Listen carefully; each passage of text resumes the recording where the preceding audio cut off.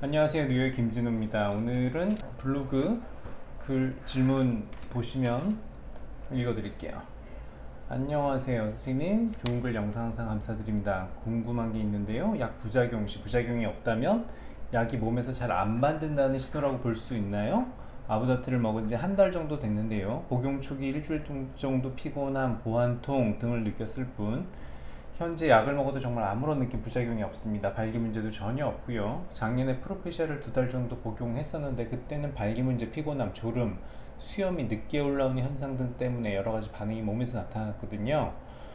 어, 아보다트가 보통 더 독하다고 하잖아요. 부작용이 오히려 없는 게 방광기보다 혹시 약효가 없는 게 아니, 아니냐 하는 의구심이 생겼어요.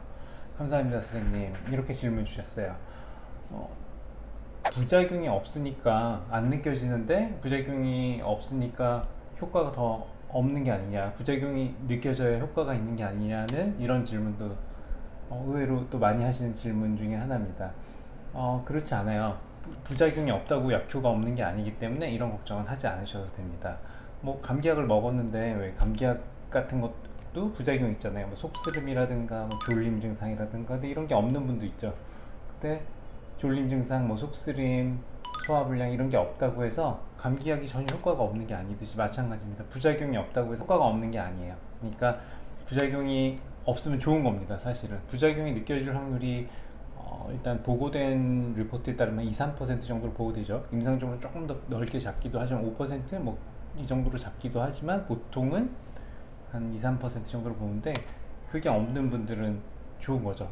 없으면서 약효를 보면 부작용이 있으면 이제 그때 고민해야 됩니다. 약효를 음, 생각하고 부작용을 감수할지 아니면 부작용을 줄이기 위해서 약용량을 좀 조절하든가 아니면 약을 한번 교체해 보든가 뭐 이럴 수 있습니다. 결론 정리드리면 부작용이 없다고 안 느껴진다고 약효가 없는 게 아니니까 걱정 마시고 계속 잘 드시면 됩니다. 좋은 겁니다. 부작용 없으면.